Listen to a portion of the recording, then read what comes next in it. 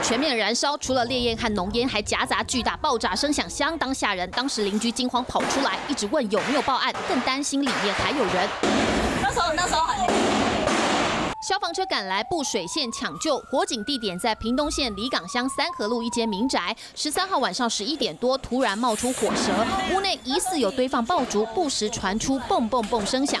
火势在四十分钟内扑灭。进屋查看，二楼房间有一名七十二岁男性明显死亡。哎，我听是昨天的，落在玻璃，然后啊，然后啪啪啪啪，大家又嘣一下呢。七点多，嗯，在吵架。前几天就是礼拜天就已经在吵了，天天都已经吵得很严重了。有邻居表示，之前曾经听到有争吵声。死者女儿赶回家表示，房子是爸爸跟哥哥嫂嫂一起居住，火灾当时只有行动不便的爸爸在家。那瘫痪不都走？哦，爸爸瘫痪了。啊。哦，弄哥哥来叫我。对啊。而监视器画面显示，火警发生前十点多，媳妇先骑车出去，接着儿子也走出家门，十一点左右发生火灾。哦，迄个是你甲你摸出来。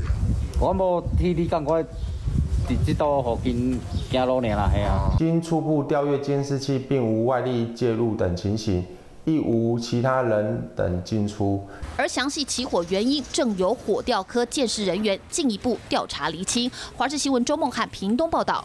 嗨，我是庄宇杰，想要看到更多的新闻内容吗？赶快订阅华视新闻的 YouTube 频道，并且开启小铃铛，跟着宇杰一起看新闻吧。